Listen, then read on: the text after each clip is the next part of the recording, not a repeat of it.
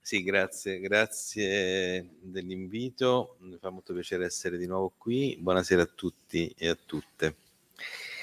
Sì, appunto, storie prima della storia. Eh, il sottotitolo del libro che è stato appena citato è un po' il nostro tema di oggi, cioè cercare di eh, un po' rimettere insieme gli elementi che abbiamo a disposizione, e sono tanti, per raccontare la nostra storia nel tempo profondo, tempo profondo del, delle ere geologiche, potremmo dire, o perlomeno de, degli ultimi tempi della storia della vita sulla Terra, e in questo modo cercare di eh, comprendere meglio anche chi siamo. No? Cioè, la sfida è quella di riuscire attraverso il passato a comprendere meglio la nostra natura e anche direi il nostro posto nella natura, come diceva Thomas Henry Huxley un famoso libro di metà Ottocento, il famoso Mastino di Darwin. E, mh, credo, penso di co- condividere con molti l'idea che capire meglio chi siamo, capire meglio che cos'è questa creatura particolare, particolarissima che chiamiamo Homo sapiens, o meglio, che fummo chiamati Homo sapiens da, da Carlo Linneo a metà del Settecento. Non so quanto questo sapiens sia davvero meritato, questo poi cercheremo di capirlo. Ehm, Bene, se, se, questa creatura ha davvero le risorse per affrontare le grandi sfide no, che, che, ha di fronte, eh, sfide che derivano anche dalla propria stessa presenza così ingombrante, così marcata su questo pianeta, tanto da mettere a rischio la sopravvivenza di molte creature, no? c'è un calo della biodiversità che leggiamo eh, anche proprio così sentiamo nei telegiornali, eh, c'è grandi problemi di inquinamento, eh, dalle scorie radioattive eh, alle plastiche che invadono il pianeta. C'è un importante cambiamento climatico eh, e di cambiamenti climatici noi paleontologi ne sappiamo qualcosa, insomma ce ne sono stati tanti nel passato, nel tempo profondo della preistoria, ma questo è un cambiamento climatico rapidissimo, indotto proprio dalla nostra stessa presenza. Anche perché siamo tanti, forse troppi, eh, come penso tutti sapete, un paio di mesi fa, se non ricordo male, o forse anche meno, abbiamo toccato la vetta degli 8 miliardi di esseri umani su questo pianeta. E, ehm, ed è una vetta per modo di dire, perché è parte di, una, di un'ascesa ulteriore che ci porterà a cifre ancora più impressionanti eh, già nei prossimi decenni. Quindi insomma, a parte queste note, mh, mm, certamente eh, noi abbiamo in questo, questa grande testa rotondeggiante che contiene un cervello di quasi un litro e mezzo di volume, eh, abbiamo le risorse per poter affrontare tutto questo. Abbiamo le risorse scientifiche, tecnologiche, ma quello che forse è più importante è andare a a ritrovare e a condividere e individuare le risorse culturali. No? Quindi la condivisione anche de, delle conoscenze sulla nostra natura, su, su chi siamo, su eh, tutto quello che dicevamo prima. Perché questo io penso ci possa aiutare molto a, ad affrontare meglio queste sfide. Quindi cominciamo. Cominciamo da, da, questa frase che a me colpì molto quando lui morì, eh, Stephen Hawking, no? chi è che non lo conosce, il famoso astrofisico morto 4-5 anni fa. E mi trovavo in una sala d'aspetto con un giornale trovato lì per caso, e, aprendolo trovai appunto una specie di necrologio di, di, di, di, questo grande scienziato appena, appena deceduto e, e, trovai questa frase no, che mi, mi, appuntai subito perché mi piacque molto. Dice siamo solo una varietà evoluta di scimmie e già in questa prima riga o giù di lì ci sono alcuni elementi interessanti. Per esempio il fatto che siamo scimmie, eh, ma, ma anche il fatto al tempo stesso che siamo una varietà evoluta di scimmie. Bisogna capire anche un po' che cosa significa questo evoluta. Su un pianeta minore di una stella media, qui entra l'astrofisico, ma possiamo capire l'universo. Eh io direi possiamo capire la vita, no? possiamo capire tanti aspetti della realtà che nessun'altra forma di vita ha mai neanche tentato di, di, di capire o di affrontare. E questo quindi ci rende qualcosa di davvero speciale. Ora, in questa breve frase si, si ritrova un po' tutta la, la, tematica che abbiamo proprio poco fa cercato di no, intravedere, cioè il fatto che appunto siamo una creatura speciale eh, che ha delle grandi risorse, ma che ha anche dei limiti, no? delle caratteristiche che sono connaturate con la nostra natura di esseri umani e di esseri viventi e di scimmie in particolare. Dalle scimmie a, con le scimmie, perché eh, qualcuno, qualcuno dice l'uomo deriva dalla scimmia. No, l'uomo è una scimmia.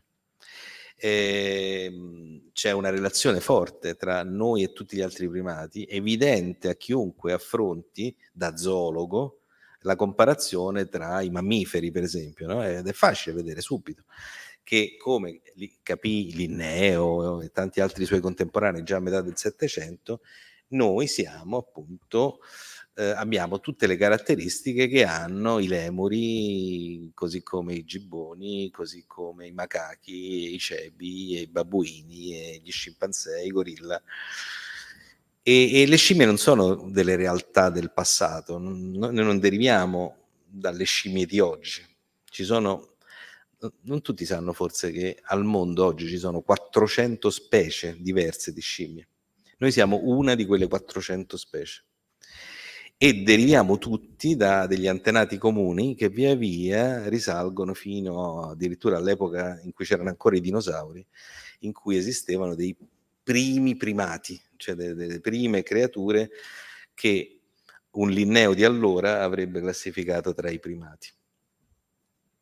Parliamo di 80 milioni di anni fa e poi via via, no? poi c'è stato il grande botto dell'asteroide, la scomparsa dei dinosauri, l'apertura di eh, formidabili opportunità ecologiche e adattative per uccelli, che sono i veri discendenti dei dinosauri, e i mammiferi, in tutte le loro varietà. Tra le varietà di mammiferi, i primati, eh, si sono via via differenziati, poi alcuni si sono estinti nel frattempo, poi ci sono state altre radiazioni adattative, fino ad arrivare a oggi che contiamo appunto 400 specie di primati viventi, molte delle quali a rischio a causa nostra. E ehm, noi siamo una di queste, siamo una di queste abbiamo una storia che ci lega a tutto questo percorso che vi ho adesso veramente tratteggiato e, e, tutto questo noi lo possiamo ricostruire grazie a una serie di elementi che ho cercato di riassumere, o meglio, che sono riassunti in queste immagini che ho trovato su internet. No? Lo possiamo ricostruire attraverso i fossili. No? dice la famosissima Lucy, chi è che non la conosce, questo scheletrino di un australopiteco scoperto eh, nel 1974, insomma tanti anni fa, in Etiopia che però ha rappresentato una svolta nella storia delle ricerche sul nostro passato remoto, oppure attraverso i manufatti, come quei due manufatti che trovate lì appoggiati su, su questo foglio, oppure la genetica, no? i dati molecolari, come si dice oggi. No? Quindi eh, lì c'è un modellino oh, che evoca la struttura del DNA e quindi qualcosa che ci accomuna addirittura a tutte le altre forme di vita, compresi i batteri. E, ehm, e poi anche c'è una componente in questa immagine che a me è subito piaciuta, c'è una scimmia o un antenato rappresentato lì nel verde, ma poi c'è anche appunto un foglio di giornale, perché effettivamente dove c'è scritto uh, i ricercatori trovano un nuovo antenato dell'uomo, dell'umanità. Sì, perché effettivamente questo tema, oltre a essere interessante, avere diciamo delle capacità anche appunto di darci una visione culturale su filosofica quasi per certi versi e certamente anche politica nuova, eh, intanto per cominciare tocca delle corde sensibili nelle nostre emozioni, no? cioè comunque stiamo cercando di ricostruire la nostra storia, il nostro passato e questo è per noi estremamente interessante. È un po' come il mito delle origini, che tutti i popoli hanno sempre cercato di immaginare, eh, di cantarsi, di raccontarsi, di, no, di scrivere. E la differenza sta nel fatto che mentre i miti delle origini dei tanti popoli erano basati sulla fantasia, sull'immaginazione, su delle credenze, questo, questo racconto delle origini che ci fa la paleoantropologia è basato su dati scientifici ed è qualcosa di solido, eh, non di incontrovertibile. La scienza non produce verità, eh, produce però delle approssimazioni alla realtà che, su cui possiamo insomma contare parecchio, anche se la forza e la debolezza della scienza è proprio questa di essere cont- costantemente in revisione, no? Se, stiamo sempre ripensando e verificando eh, le acquisizioni che raggiungiamo eh, però appunto più che una debolezza credo che sia proprio la forza del metodo scientifico. Bene, allora, mh, mm, vediamo di, di, di, fare ordine in tutto quello che ho cercato per il momento di lanciarvi come una grande ondata di, di informazioni preliminari. E cominciamo da un punto, eh, anche se forse da questa immagine non sembra un punto, ma adesso vi spiego in che senso punto. Un punto nel tempo e nello spazio che è disnodo tra un prima e un dopo. Qual è questo punto nel tempo e nello spazio? È un punto, mh, siamo in Africa, circa 200.000 anni fa. Eh, allora, Africa è grande, ma insomma, qua più probabilmente siamo in Africa orientale, in quello che tutti chiamiamo il corno d'Africa, no? qualcosa tra l'Etiopia, il Kenya, la Tanzania. E siamo 200.000 anni fa, significa un tempo gigantesco da un certo punto di vista, tanto tempo fa, sono 2000 secoli fa.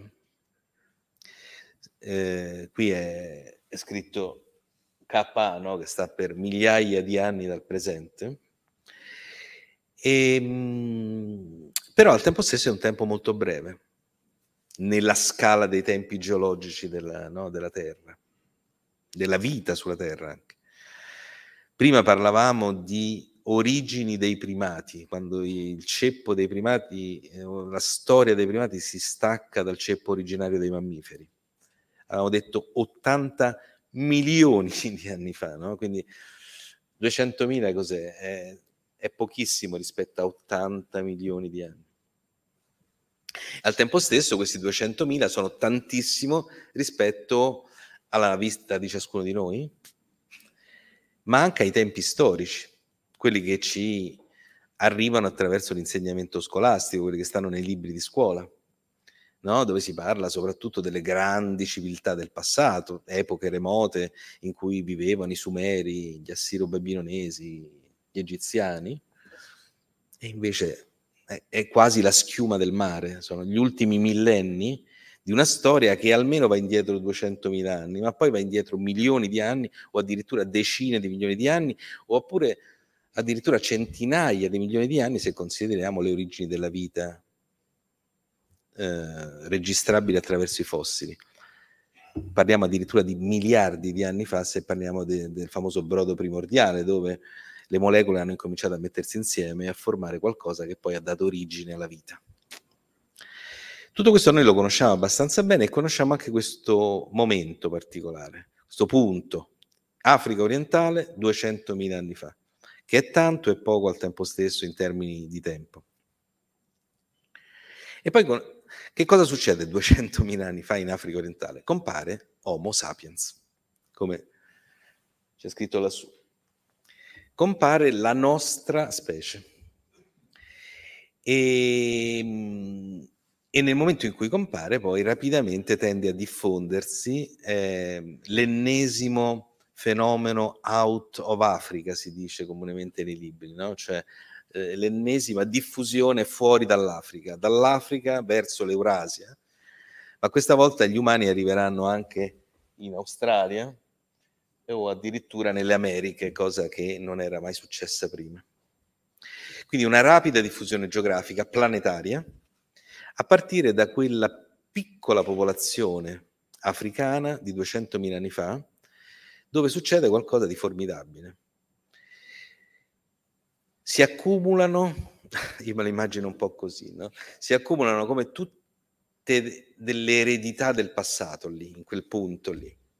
Cioè, in quella piccola popolazione ci sono i retaggi di una storia che è quella che abbiamo cercato di tracciare da, da, dal brodo primordiale in poi, no? tutte le caratteristiche biologiche degli esseri viventi, ma poi le caratteristiche particolari dei vertebrati che hanno una loro struttura comune, no? noi siamo come dei pesci, dei rettili, degli anfibi per certi aspetti, e, ma poi tutta la storia dei mammiferi all'interno dei vertebrati, e poi tutta la storia dei primati all'interno dei mammiferi, e poi tutta la storia nostra, cioè la storia di quelle creature bipedi che 5-6 milioni di anni fa iniziarono a muoversi proprio in Africa, tra l'altro, eh, su questo pianeta.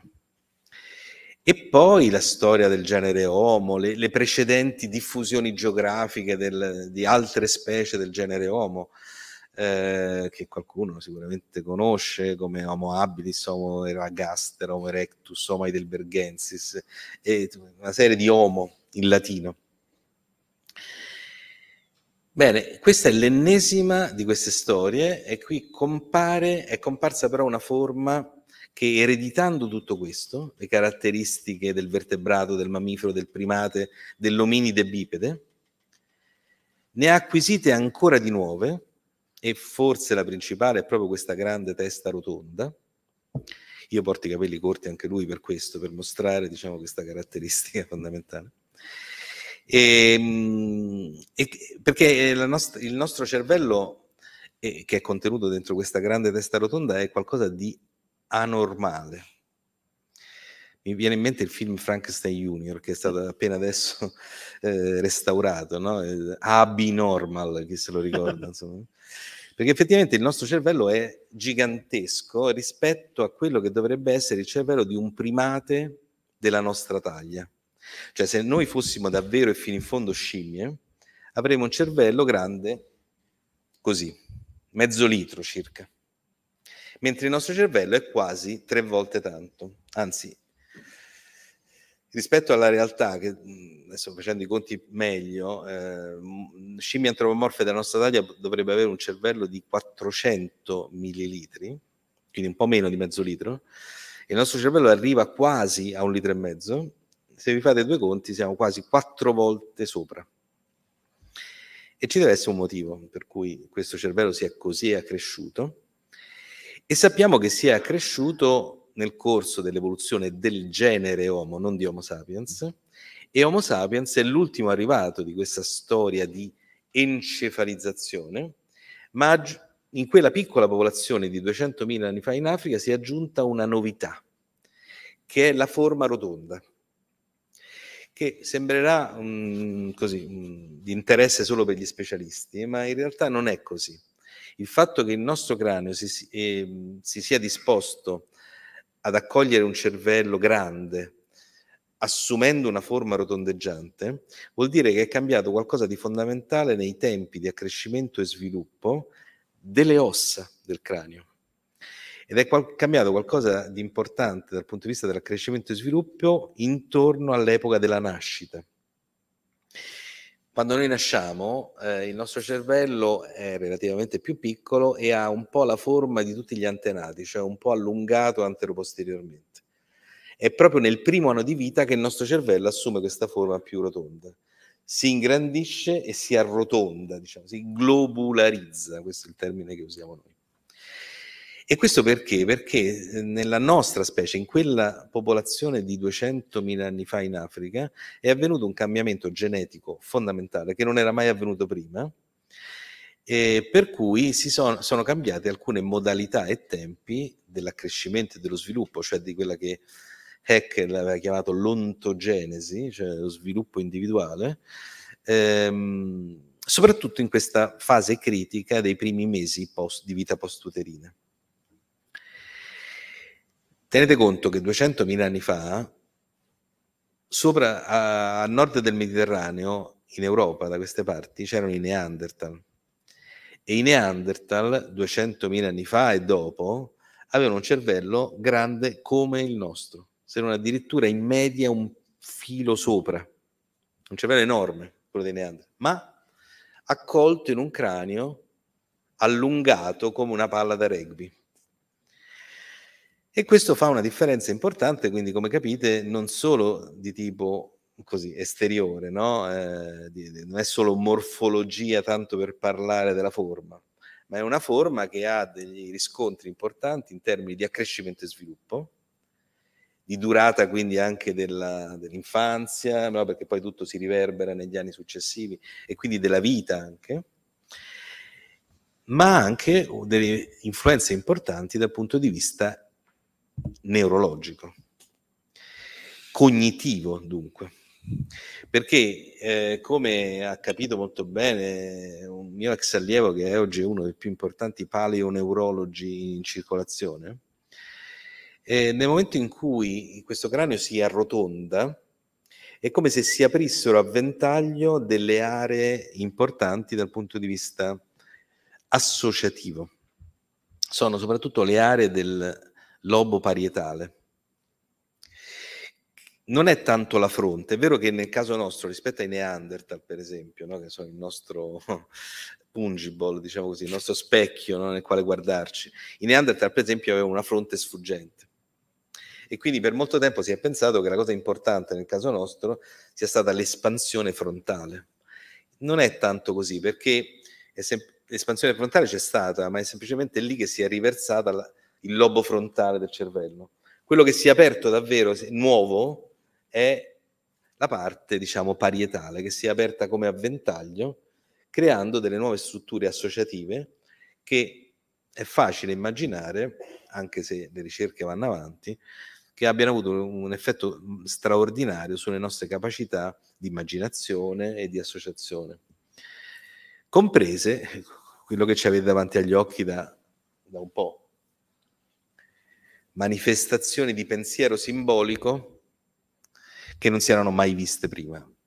Per quanto si dica che i Neanderthal qualcosa facevano, hanno lasciato delle tracce di pensiero simbolico, ed è vero, ma erano delle tracce, dei barlumi di pensiero simbolico. Con Homo sapiens, e soprattutto dopo un po' di tempo che Homo sapiens è in giro, si incominciano a vedere non delle tracce, ma delle manifestazioni strepitose di pensiero simbolico. Quest'arte qua, ma chi l'ha fatta?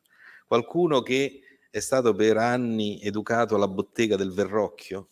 No, è qualcuno che lo fa spontaneamente e che ha dentro di sé dei pensieri, delle idee e delle capacità di raffigurare graficamente queste idee, che è qualcosa proprio veramente di sapiens, nel senso no? proprio, è proprio qualcosa di nostro, cioè siamo proprio noi.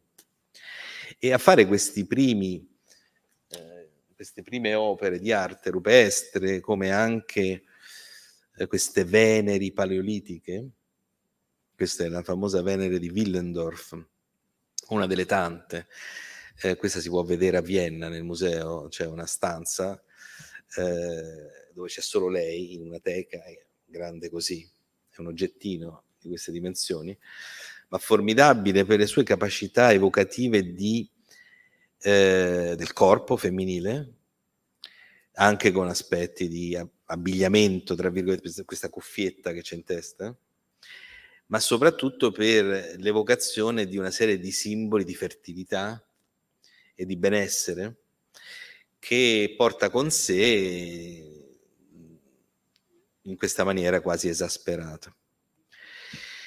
Bene, allora questa creatura comparsa 200.000 anni fa in Africa si diffonde sul pianeta, porta con sé le proprie caratteristiche biologiche, quelle ereditate da una lunga storia, ma anche quelle nuove, cioè la testa rotonda, e porta con sé gli effetti di questa testa rotonda, eh, cioè per esempio appunto la capacità di pensare in questo modo, eh, che anche un, forse c'è una componente di autoconsapevolezza, perché poi vengono rappresentati anche, gli umani rappresentano se stessi a un certo punto, e, ehm, e questo forse ha fatto la differenza in una sorta di competizione che si aprì all'epoca tra noi, cioè loro noi, cioè i primi sapiens, e altre forme umane che erano pure presenti in varie parti del, de, dello scenario geografico, in Africa, come in Europa, come in Asia continentale, come in Indonesia c'erano Homo naledi, c'era Homo neanderthalensis, c'erano i Denisova, c'erano gli ultimi Homo erectus, c'era un sacco di gente in giro, c'era un, un sacco di varie specie del genere Homo erano contemporaneamente presenti 100.000 anni fa, a metà di questa storia, no? se noi mettessimo una specie di, facessimo una foto no? eh, con un drone, girassimo su, su, su, sul mappamondo 100.000 anni fa, incontreremmo tutte queste specie umane diverse. Specie umane diverse, non popolazioni, non razze, specie. Eh, e alcune, tutte hanno un cranio più o meno grande ma allungato anteroposteriormente. Una sola c'è il cranio rotondo e l'unica sola che è sopravvissuta è questa. Quindi dentro questo cranio rotondo e grande ci deve essere qualche trucco che ci ha reso eh, possibile sopravvivere anche ad avversità notevoli e vincere nei millenni che passano, decine di millenni che passano, una sorta di competizione ecologica con altre forme altrettanto umane, anche se diverse. I Neanderthal, per esempio, intorno a 40.000 anni fa si estinguono.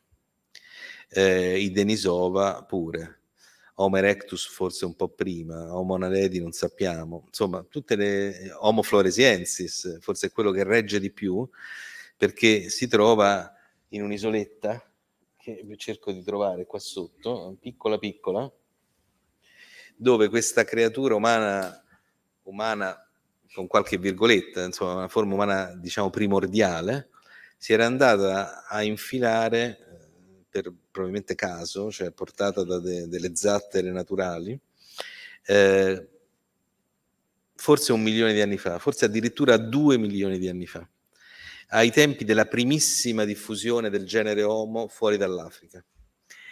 E, e poi lì era rimasta, non sapendo tornare indietro, per questo pensiamo che avesse eh, raggiunto l'isola di Flores con questi mezzi eh, involontari, diciamo così, no? come un vecchio ministro che aveva la casa a sua insaputa vicino al Colosseo.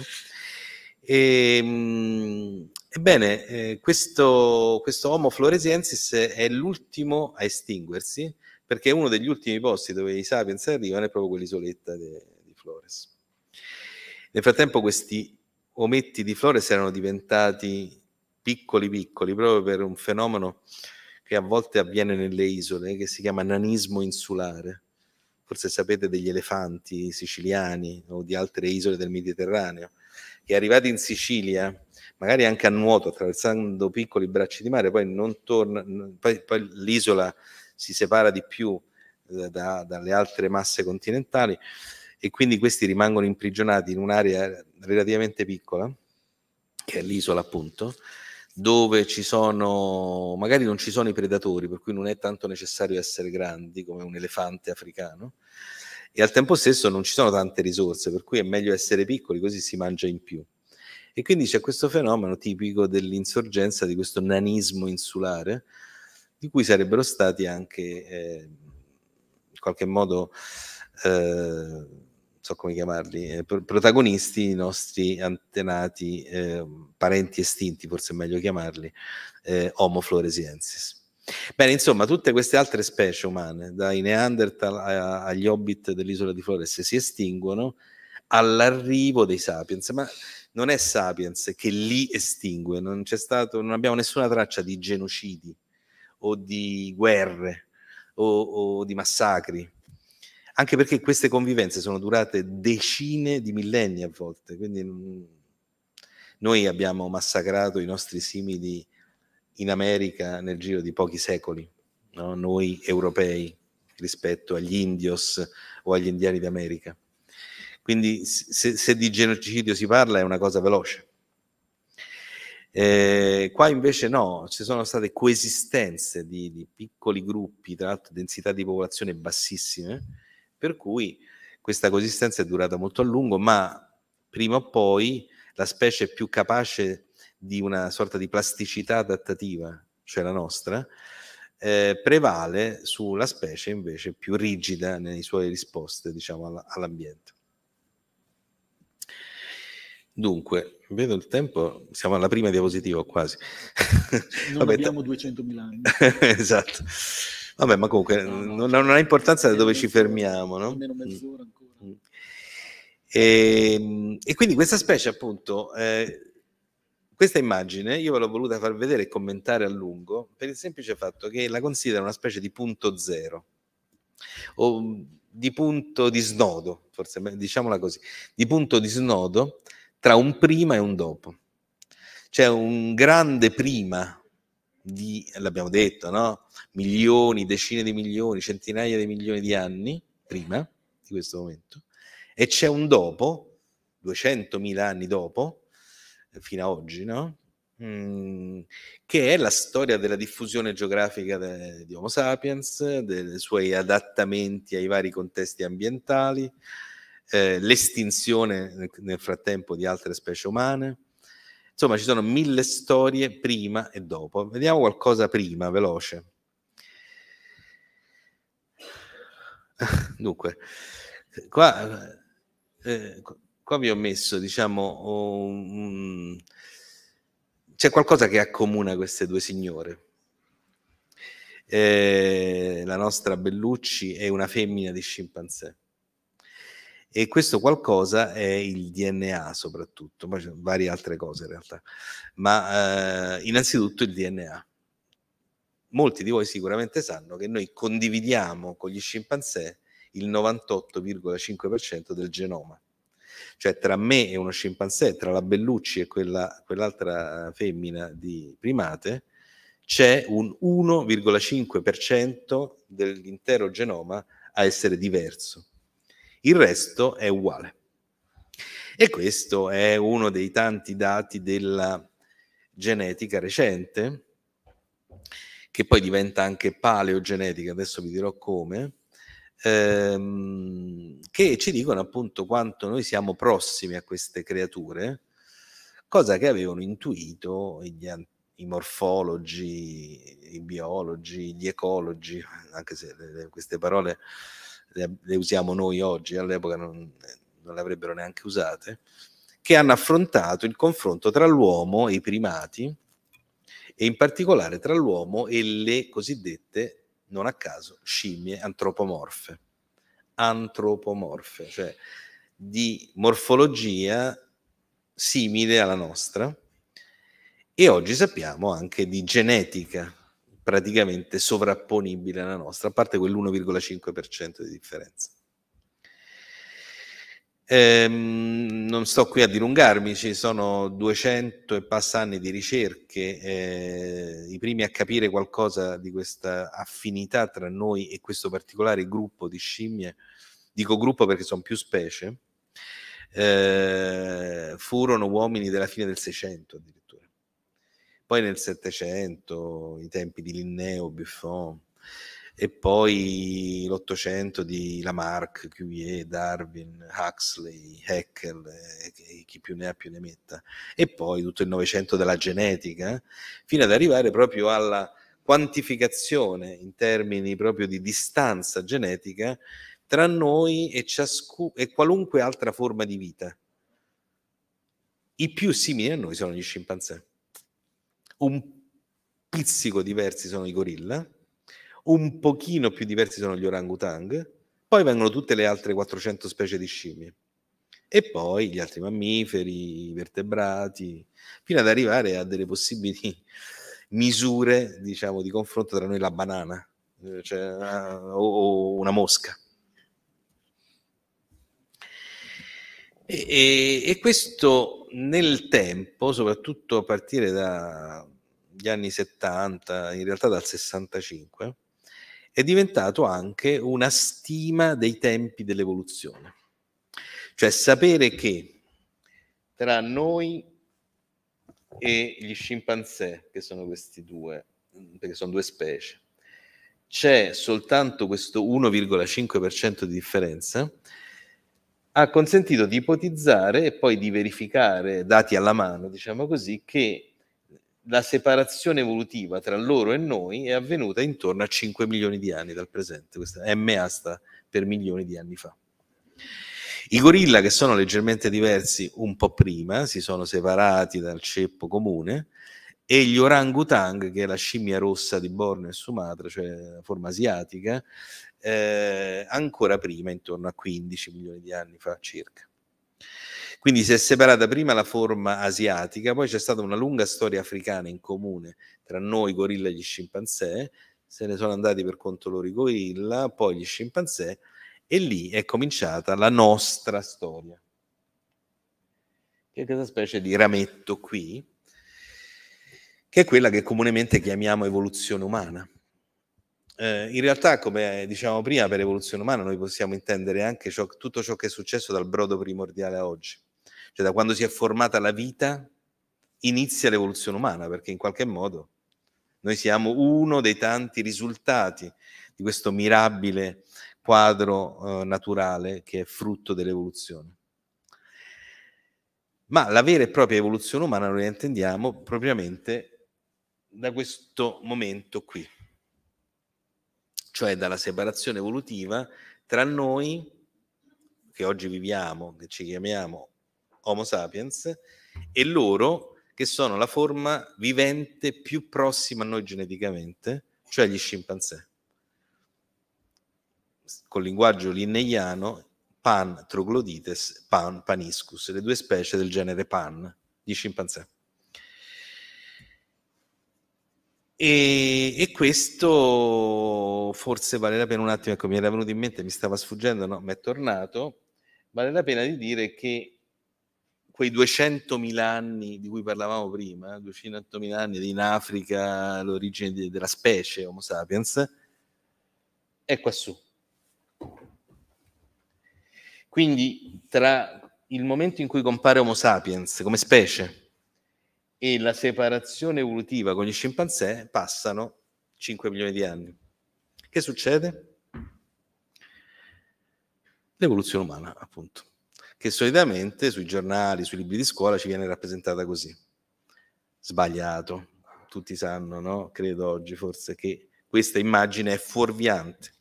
Non è stata una storia di una specie appresso all'altra, è stata questa roba qui c'è un vero e proprio, e io qui volutamente ci ho messo troppa roba in questa slide, perché qua c'è nascosto in questa slide un corso di paleantropologia di un anno, eh, un corso universitario di paleantropologia di un anno, è in fondo riunito in questa combinazione di immagini. Eh, è una storia, come vedete, da queste barrette tutte queste barrette qui che sono eh, il fil rouge, diciamo così, di, questa, di questo disegno, ehm, è una storia che è tutt'altro che sequenziale, perché questa è la scala del tempo e vedete che ci sono molte specie tra loro contemporanee, perché ciascuna barretta è una specie estinta, di generi diversi, Australopithecus, Homo, Paranthropus, sono quelle lettere che vedete all'inizio, no? P puntato, H puntato, A puntato. E, ehm, bene, quindi eh, molte di loro tra loro contemporanee, quindi non può essere una sequenza, ma è un cespuglio, dicono molti oggi, no? Io preferisco forse l'espressione albero frondoso, ma insomma, di metafore si può morire. E, e, insieme a tutto questo io vi ho messo alcuni aspetti salienti no, di tutta questa storia complicatissima di cui abbiamo minimamente modo di parlarne questa sera. No?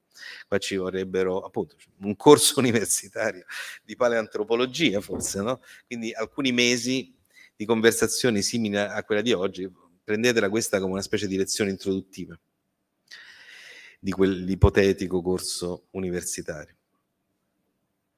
Però vi ho messo appunto alcuni aspetti, per esempio quello geografico, no? per un lungo tempo eh, la nostra storia, la storia dei nostri antenati è stata una storia esclusivamente africana, per questo isolato un'Africa lì sulla sinistra, ma poi a partire da circa due milioni di anni fa, e provate a seguire due milioni lì nella scala del tempo, eh, alcune forme incominciano a diffondersi fuori dall'Africa. È quel primo out of Africa di cui vi dicevo, no?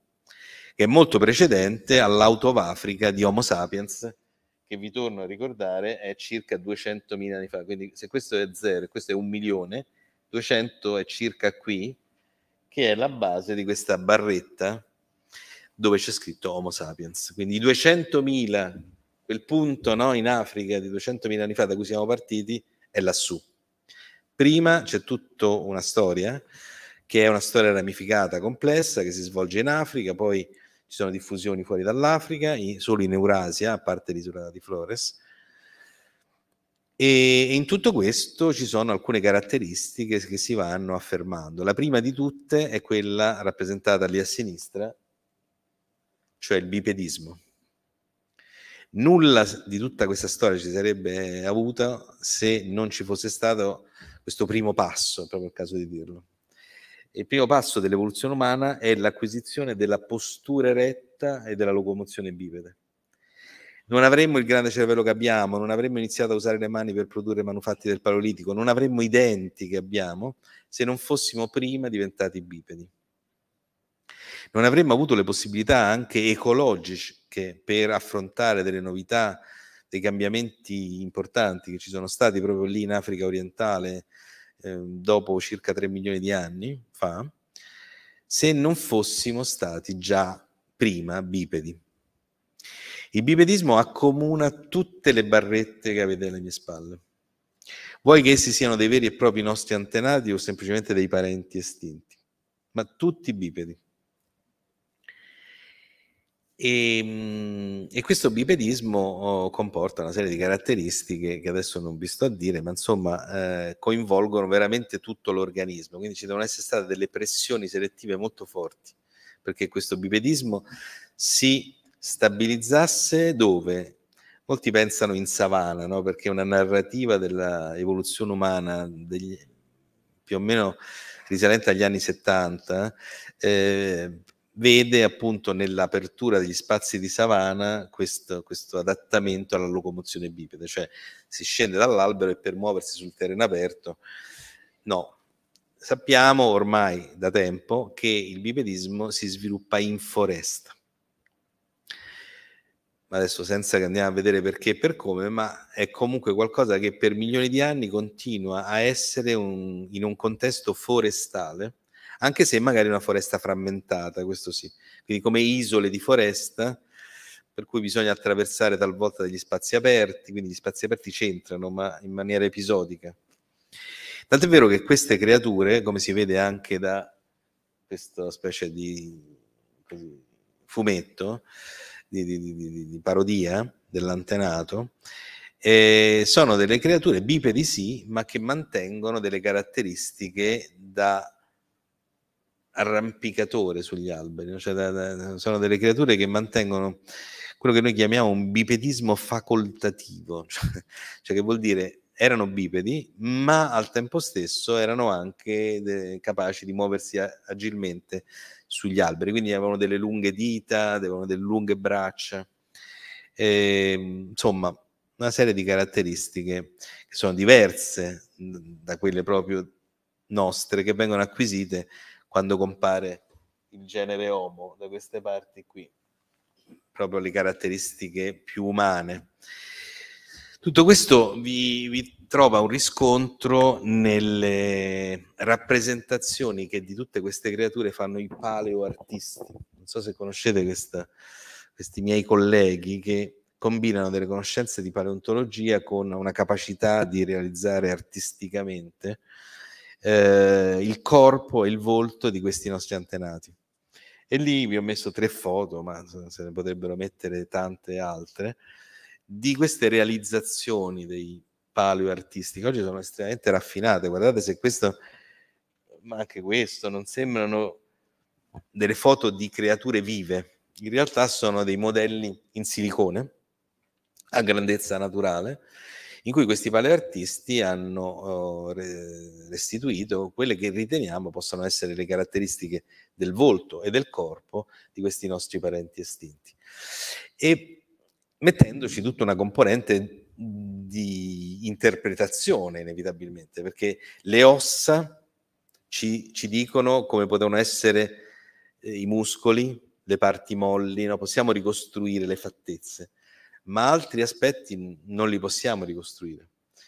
Eh, li dobbiamo ricostruire sulla base di un insieme di informazioni che vengono da altre conoscenze. Da questo punto di vista la paleoantropologia è una scienza di sintesi, no? che mette insieme competenze diverse. L'abbiamo visto prima, per esempio, quando parlavamo di eh, paleoneurologia. Bene, e quindi vedete come i primi bipedi vengono rappresentati solitamente come delle scimmie, cioè le fattezze scimmiesche di, questo, di questa ricostruzione sono evidenti, anche se era bipede. Quella è una ricostruzione di Lucy, per esempio e quanto diventano umane nel momento in cui si passa al genere Homo, anche se non è certo Homo sapiens quello che viene rappresentato lì, ma è un variante di una specie che chiamiamo Homo heidelbergensis, questa roba qua. Quindi vicino a noi nel tempo e anche nella filogenesi, ma diverso da noi al tempo stesso. Eppure viene rappresentato come molto umano. Da questo punto di vista io non sono sicuro che i paleoartisti stiano cogliendo nel segno, no? Chissà che magari i capelli non gli cominciassero dall'arcata sopraorbitaria. Ipotesi. No, sto dicendo così. Per dire che su queste cose dobbiamo aspettare che la scienza ancora ci dica qualcosa. Per esempio, non so, adesso parlando di capelli che cominciano dalle sopracciglia, mi viene in mente che non sappiamo quando abbiamo perso i peli, cioè parte dei peli. Eh, il manto pilifero proprio no? di un primate, noi non ce l'abbiamo più. Abbiamo degli strani peli distribuiti in alcuni punti del corpo, tra l'altro uno diverso dall'altro, mh, mm, come tipologia proprio di pelo. E, e, ma, ma i fossili questa storia non ce la raccontano. Non abbiamo peli fossi. Però abbiamo la possibilità di fare un lavoro simile a quello che vi ho fatto vedere prima, cioè di studiare il presente, in questo caso i peli, nostri e delle, dei nostri parenti più prossimi, per esempio i scimpanzé e i gorilla, e andare a ricucire le trame della storia che c'è dietro, da cui tutto ciò è derivato. E quindi non, non escludo che tra un po' di tempo sapremo meglio, studiando la genetica di oggi, con i suoi riflessi nel passato, eh, come potevano essere eh, dal punto di vista pilifero eh, alcuni dei nostri parenti estinti, eccetera, eccetera, eccetera. Insomma, su questa immagine, ve l'ho detto, non si finirebbe mai di... Era solo per darvi un'idea della complessità. Non è questa storia qui che è una è, è peggio di una ipersemplificazione, è una banalizzazione, è, una, è fuorviante di fatto, anche se c'è un filo rosso effettivamente che lega questi personaggi qui, eh, ma è un filo rosso che dobbiamo ricucire all'interno di una storia assolutamente molto più ramificata. E, e, tutto questo lo facciamo grazie a una scienza che è moderna, no? Oggi la morfologia stessa, scienza antichissima, eppure oggi la morfologia ci consente delle cose che fino a 30 anni fa non si potevano fare. Oggi possiamo dare dei numeri alle forme, che è una cosa che adesso detta così forse non si capisce bene, però è, è qualcosa di assolutamente rivoluzionario. Cioè, io ho un cranio come quello che ha in mano questo signore e, e, posso studiarlo oggi in una maniera tale che 30 anni fa non era possibile. 30 anni fa. Perché posso acquisirlo, per esempio, con una tomografia computerizzata o con una scansione laser o con altri sistemi e posso studiarlo con delle tecniche che si chiamano morfometria geometrica che oggi consentono di dare dei numeri alle forme. E questo è, vi assicuro, qualcosa di formidabile. Ma ancora forse più formidabile è la nascita della paleogenetica, paleogenomica, eh, che dobbiamo innanzitutto proprio a questo signore qui, che forse qualcuno l'ha riconosciuto, è Svante Pebo, quello che ha vinto il Nobel per la medicina l'ottobre scorso. E, e, giustamente gli hanno dato il Nobel per la medicina perché si è inventato, non da solo naturalmente, ma è stato veramente il padre di una nuova scienza e questa nuova scienza si chiama appunto paleogenomica.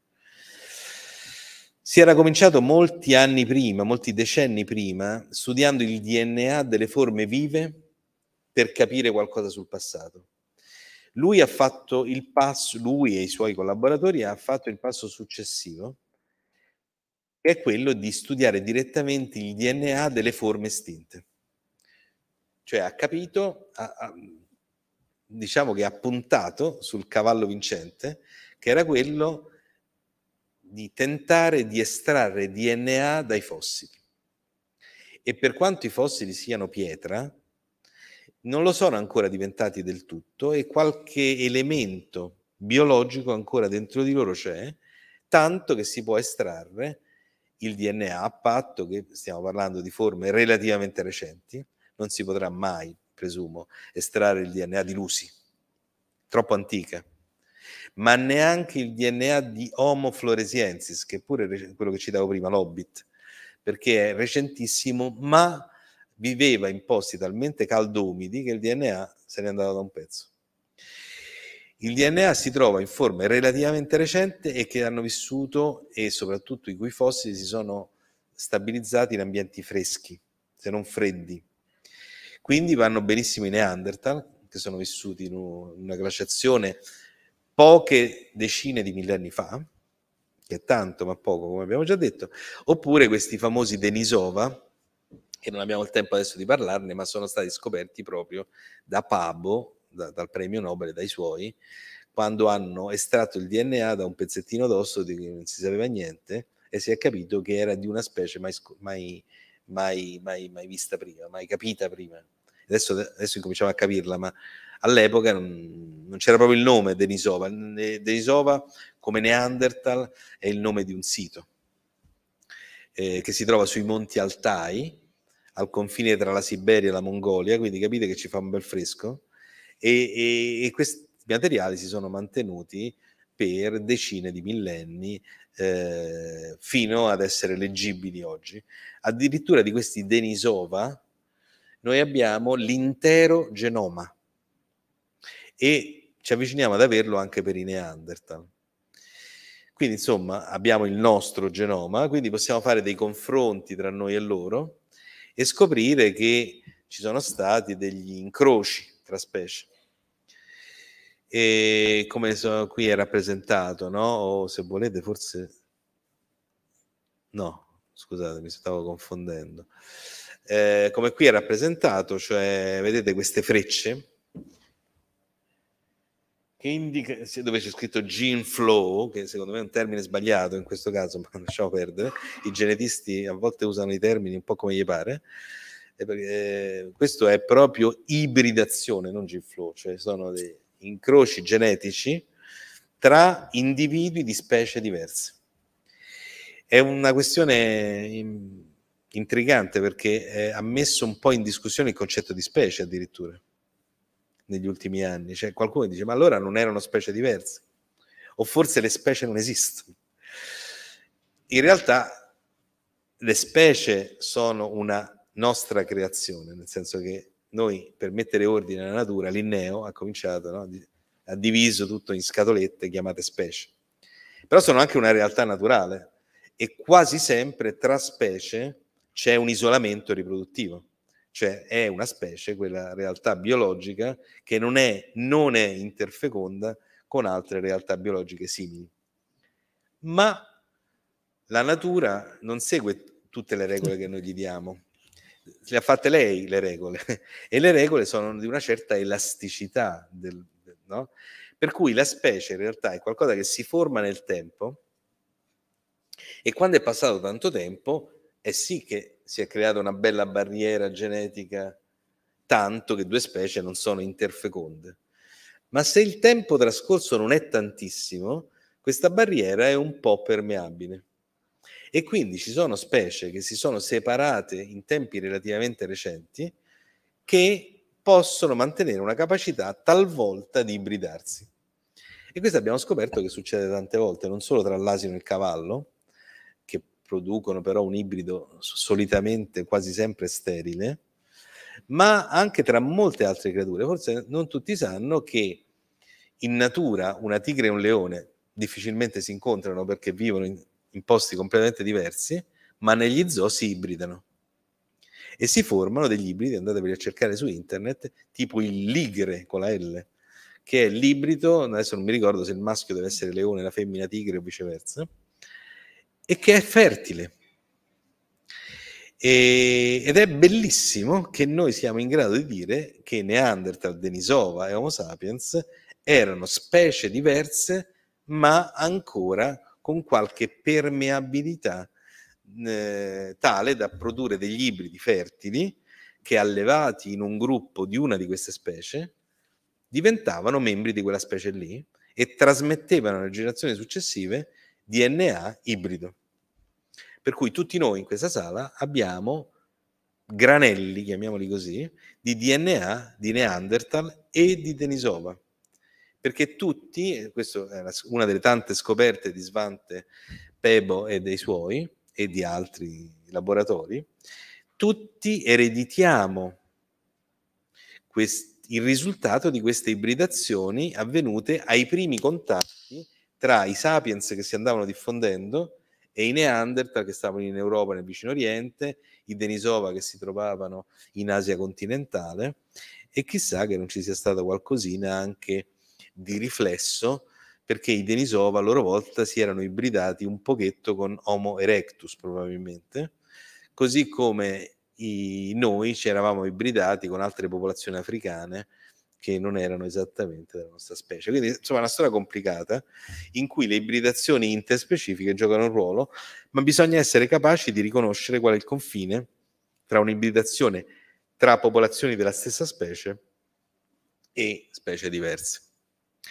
E la storia poi potrebbe insomma continuare molto, però non vi voglio tenere tutta la serata qui, perché come vedete qui c'erano varie altre eh, slide, per esempio questa forse vale la pena un attimo di soffermarsi sul fatto che nel momento in cui poi i sapiens si diffondono geograficamente e, e, e popolano l'intero pianeta, si differenziano tra loro eh, per vari fattori che qui ho un po' molto semplificando elencato.